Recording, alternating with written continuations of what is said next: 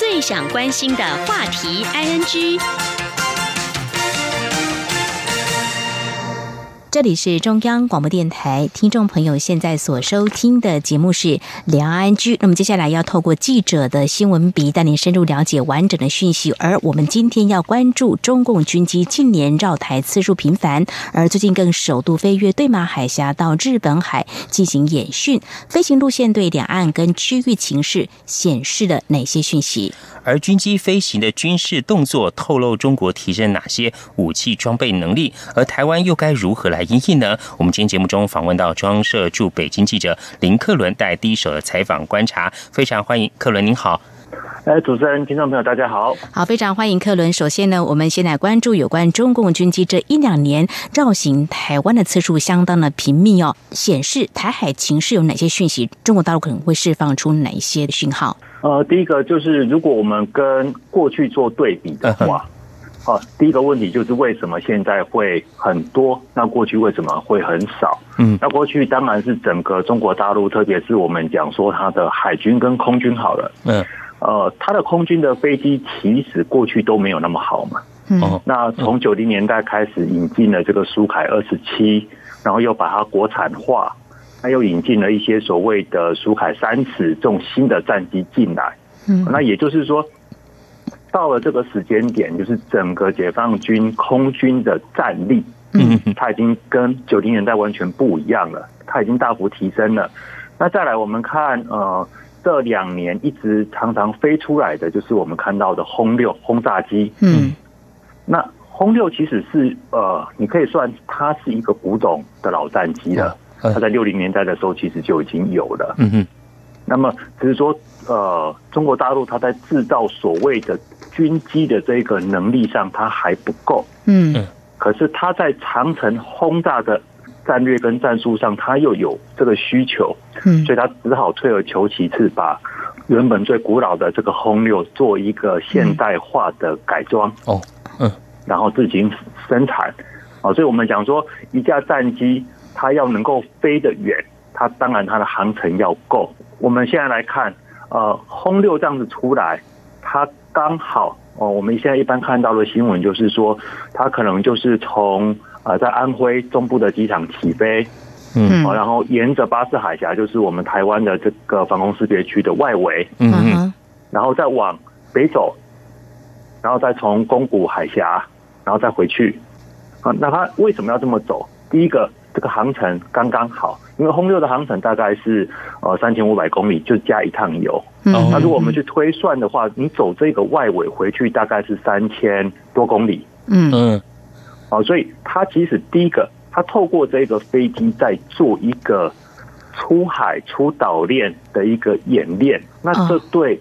解放军的飞行员来讲，是一个非常重要的一个心理上的一个训练。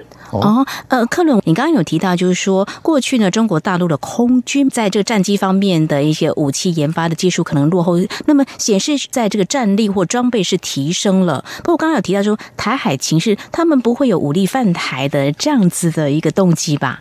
这个我们得来看，就是说，嗯，现在一大家在讨论这个议题，其实是有点太早了。怎么说呢？也就是说，今天你有好的武器，可是你还是要有人来操作。我们来想看看，嗯，过去中国大陆的空军飞行员，他是属于一个陆上的空军，嗯嗯，那么。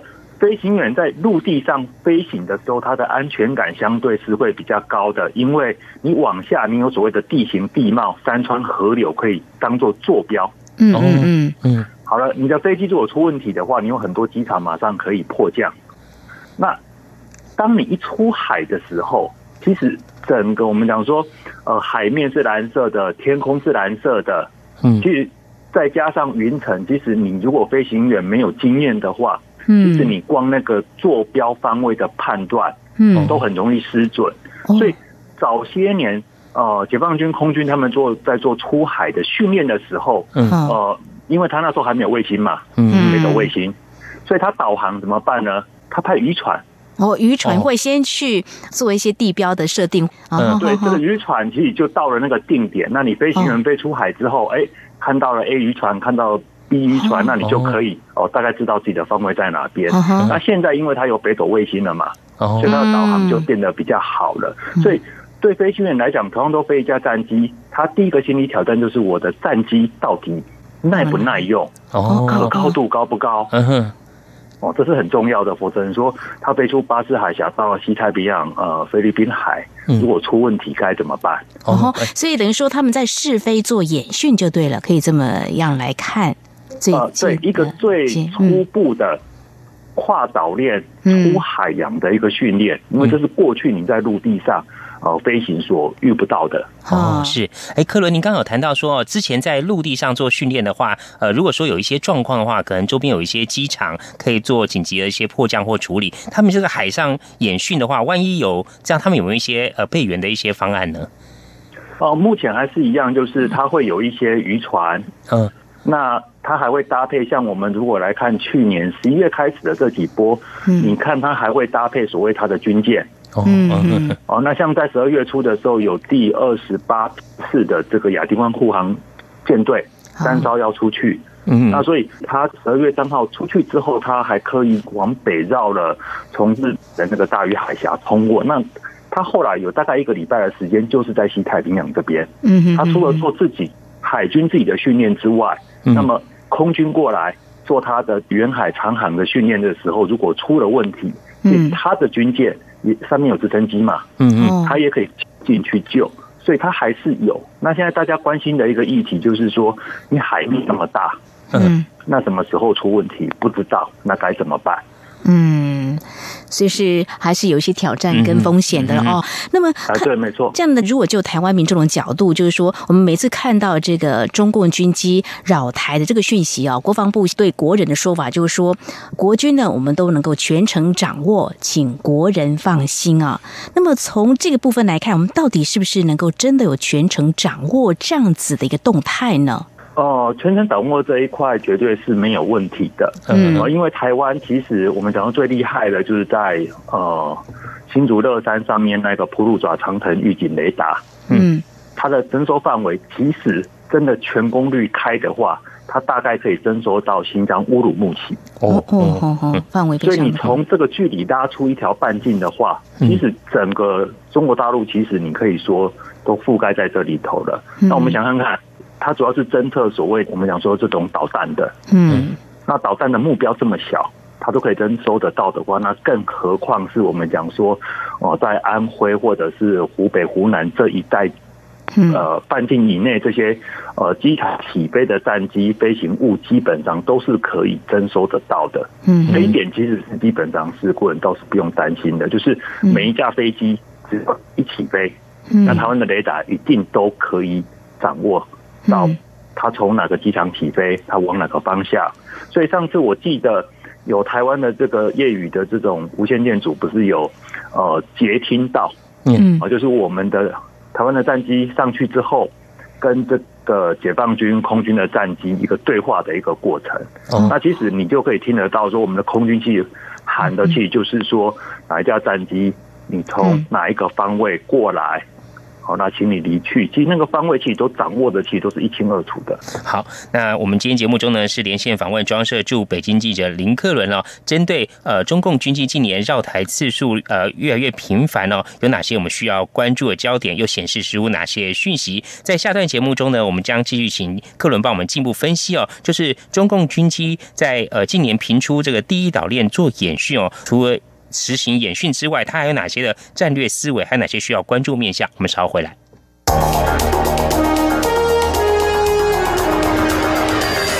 最敏锐的新闻嗅觉，延伸您的视野，让您听到最硬的两岸焦点。连线访问这次随团出访的央广记者王维婷。是的，今天在大陆福建平潭举办了一场两岸关系研讨会，对世界经济与亚洲会产生哪些影响呢？其中五百个是感染艾滋病的孩童，那分散在呃广东。从正经情势分析。两岸交流观察到新闻现场直击，两岸 ING 有最多元的声音、多面向的观点以及最专业的剖析，请收听每周一到周五晚间六点到七点，由中央广播电台新闻部黄丽杰、韩启贤制作主持的《两岸 ING》。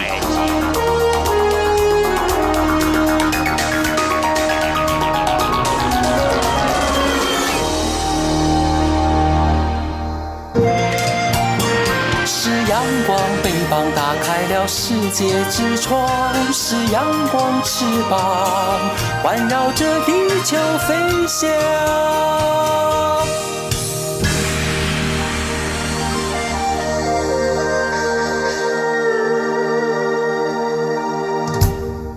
这里是中央广播电台，听众朋友继续收听的节目是《两岸安居》。我们在今天节目当中连线中央社驻北京记者林克伦，来针对中共军机近年绕台次数频繁，同时飞行路线在去年底也首次呢啊飞越了对马海峡到日本海进行演训。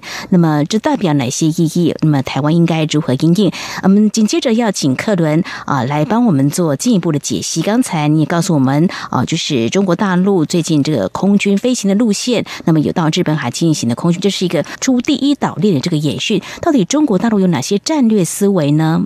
呃，第一个出第一岛链，我们刚刚提的是说，呃，对飞行员一个训练，心理上的一个训练。那再来一个在战术上或者战略上，也就是说，呃，假设台海。或者是我们讲说，在所谓的呃北亚这边，朝鲜半岛，它如果发生战事的话，好的，那么就第二点来讲，当然对美国最重要的就是关岛这个基地。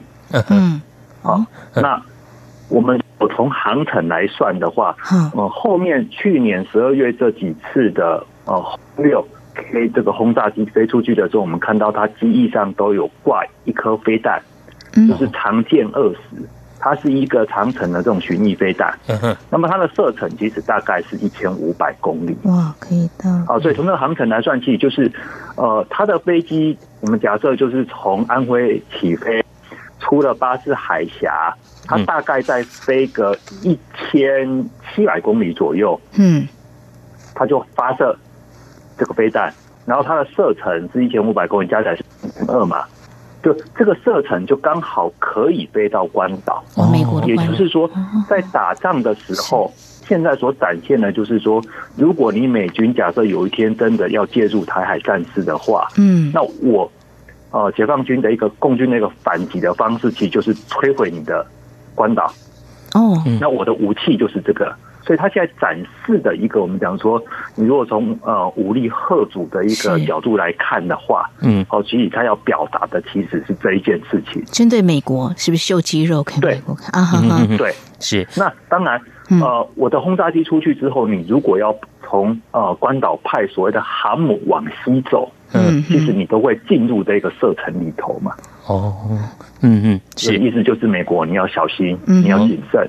嗯哼，是克伦。另外，这个中共去年底，中共军机进行远航训练，还有出动这个运八远干，还有电侦型机。克伦可不可以请帮我们做一下分析？它这个呃出这些的机型的话，主要的用意何在呢？呃，应该说国军最关心的其实就是运八局，也就是它的远程干扰机。哦，那个会为什么会是运八 G？就是因为那个拼音的关系，干扰的开头英文数目是 G 嘛？嗯，那。远干机其实它的作用，它是电子干扰、电子作战。嗯嗯。侦察机，电子侦察机是只收讯号。嗯那为什么它要出来？我们脑筋浮出了一个，呃，我们讲说这个西太平洋的一个呃地图的话，你就可以发现到说，呃，解放军更多其实现在都是从所谓的宫古海峡进出嘛。那么别忘了，日本其实为了应这一块，它在最南边的那个与那国岛。岛上，它也安装了长城的这个呃监视雷达。嗯嗯嗯。所以对日本来讲，也就是说，我的机队如果要从宫古海峡前出到第一岛链，那么我一定会遇到这些雷达的征收。所以他之前是派所谓的电子侦察，是他要去接你这个雷达的呃信号，嗯嗯嗯嗯，分析你的参数。嗯。那么。之后电子干扰机再出来，就是哦，我已经掌握这些参数，那我要试看看是不是我有办法进行干扰。嗯，那干扰的结果如果成功的话，就是跟我们看电影一样，呃，你那个雷达荧幕上原本有几个光点，跟它一干扰之后，就整个糊掉了，哦，什么都看不到了。嗯嗯嗯，那你看不到，呃，你的防空飞弹也打不到嘛，自己的战机也不知道敌方的战机在哪里，所以你派自己的战机上去空中拦截的时候。你也不知道它的方位在哪里，嗯哼哼哼，哦，所以这就是一个我们讲说，现在现代的一个作战最重要的就是要先去搜你敌方的这种雷达参数，知道你的性能到哪里。那我真正作战的时候，我才有办法做一个干扰。哦，是。那么从这里可以看出，中国大陆在这个现代战力呢是有所提升。那当然，对于中国大陆的军事动作呢，就台湾的相关的讯息报道，还有相关的政府部门都会做出一定程度反应。那么我们接下来要看，就是说，那么中国大陆对于他们这些军事动作，媒体有报道吗？还有中国大陆网民又如何来关注像这方面这些报道或讯息呢？哦，其实过去这两年，中国大陆的媒体对于所谓的解放军的报道，其实非常非常多的。嗯，大的一个背景，当然就是我们讲说所谓的中国崛起，中国国力上升。嗯，好了，那也带动了它整个国防或者是军事力量的一个崛起。嗯，好，那这背后当然是有一个民族主义或爱国主义的一个因素在，所以大陆的网民过去这几年确实对大陆解放军的军力都非常关心。好了，那么在媒体的报道上就遇到一个问题，就是我关心，那我要有一个对象嘛，我到底能够打赢谁？所以我们现在会常常看到，当然中日摩擦比较多，嗯，哦，那特别是每次呃解放军的军机通过宫古海峡，呃，日本的军机也会上来拦截嘛，所以在这一块的报道其实就非常多。那现在就是台湾这边，我们国军也加进来了，嗯。那么，你如果从呃报道来看的话，你就会发现到说，其实有很多更多的，其实都是在宣传呃解放军其实是非常厉害、非常呃勇猛的嗯。哦，也就是如果真的要开打的话，哦，这个小日本鬼子就一定被打得稀巴烂，那台湾当然就肯定就武力解放了。所以他基本上的一个论调其实都是在这边。那从新式的武器来看，也可以发现，像去年就大家在谈所谓的。三个二十，嗯呃，前几年就大陆号称可以跟美国 F 二十二相比拟的这种所谓的第五代呃隐形战机，哦歼二十出来了，嗯，哇，大家就觉得哇，我有我自己有能力做出跟美国性能一样的一个战机。那像还有个运二十，就是运输机，嗯，要做所谓的重型长城军用运输机，其实很难的。那像我自己也有了。那前一阵子还有一个所谓的这一个呃 B 二十，就是外形看起来跟美国的这个 B two 轰炸机非常像的，所以大家也在说哇，我现在有能力做这种跟美国性能一样的这种所谓的呃隐身隐形的这种呃轰炸机。嗯所以你你可以看得出来，就是大陆的媒体其实也不断的在鼓吹这个。那当然这种新闻有人看了，对大陆媒体来讲，它现在也有一个自负盈亏的一个压力。哦，所以他要吸引眼球，哦，所以他也一直在报道这个。那么背后当然还有一些大陆所谓的这种自媒体，嗯嗯哼，自媒体。好像我如果记者，我被公司炒鱿鱼了，我干脆出来，嗯，搞个自媒体，在微信上写这专门写这种文章，我有点洒狗血的、鼓吹的，那有人点来看，那我可以要广告，那我可以自己养活自己，嗯嗯。好，所以我们看整个这一两年来，大陆它。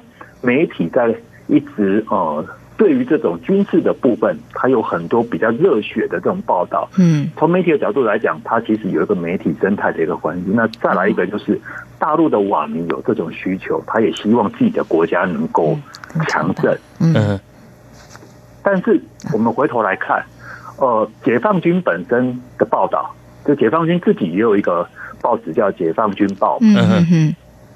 他们在报道这些新闻的时候相对保守哦，嗯嗯，因为自己是军人，所以自己最知道自己的实力到达哪里。嗯嗯嗯。那当然，就一个军方的一个官方媒体来讲，他也怕他自己过度渲染自己会绕人口实。嗯嗯嗯。哦，所以其实我自己的看法，反而会觉得说，哦，就大陆媒体的报道来看，你会觉得好像解放军现在很强。嗯，好。可是，如果我们从一个军事专业的一个角度来讲，其实解放军自己也很清楚自己的能力在哪里。他其实还只是在一个初阶训练的一个阶段，嗯，他离所谓的成熟还很长。哦。嗯，是是非常谢谢克伦的观察跟解析哦。那最后请教克伦啊，你你怎么样观察未来这个中共军机它未来远航这种训练呃这个次数，在今年开始之后会更为频繁？还有我们台湾特别需要关注哪些的面向呢？哦，对解放军来讲，当然呃从今年开始，它一定会更加频繁。那那么它的出动的机种可能会更多。那现在基本上是空军练自己的，海军练自己的，未来所谓的海空协同也会更多。嗯哼哼，啊，因为它必须要成长。那这是我们台湾没有办法回避的，但是我的看法其实就在于说，呃，国人第一个对这个其实就保持一个正常的一个心态，嗯嗯。嗯，好，就不要被这件事情好像呃解放军真的要把台湾怎样了，因为现在他还是在一个训练自己的一个阶段，那别忘了。呃，大陆常讲它的航母很厉害，航舰很厉害，可是台湾也是一艘很大的航舰。嗯嗯嗯嗯，我们上面有好几百架飞机，而且它的一个航程，我们讲说往北，从台湾本岛往北到所谓的钓鱼台海域、巴士海峡，其实都在台湾的空军的一个控制范围里头。嗯哼哼哼，那我们也有很多反舰飞弹，我们有很多防空飞弹。嗯，哦，所以成品我们讲平常的时候训练，我就让他去做训练。那我们该应的当然要有一些呃预案一些方案。那呃最不幸的就是，如果有一天真的是开战了，嗯，那么到底谁输谁赢？其实我的看法反而会觉得，哦。这个其实大家还都是一个保留的一个态度了。好，我们今天非常谢谢中央社驻北京记者林克伦哦，针对中共军机近年频频找台所显示的一些讯息，还有对两岸跟区情势带来哪些影响，那么提供你第一手的采访观察，非常谢谢克伦，谢谢，谢谢克伦，哎，谢谢。